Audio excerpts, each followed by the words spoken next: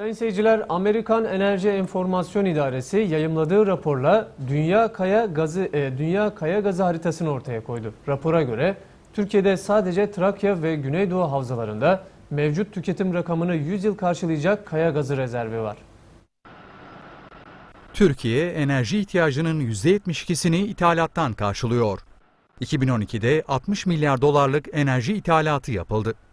Geçtiğimiz yıl Türkiye'de yaklaşık 45 milyar metreküp doğal gaz tüketildi.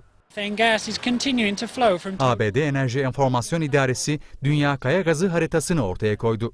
Rapora göre Türkiye'de sadece Trakya ve Güneydoğu havzalarında mevcut tüketim rakamını 100 yıl karşılayacak kaya gazı rezervi var.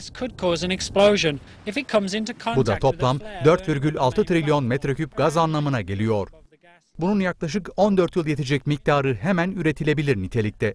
Uzmanlar bu hesaplara Tuz Gölü ve Doğu Anadolu'nun dahil olmadığını belirtiyor. Trakya Havzası'ndaki faaliyetlerin çoğu sıkı gaza yönelik oldu ve özellikle Türkiye Petrolleri Anonim Ortaklığı'yla Transatlantik Petroleum tarafından gerçekleştirildi.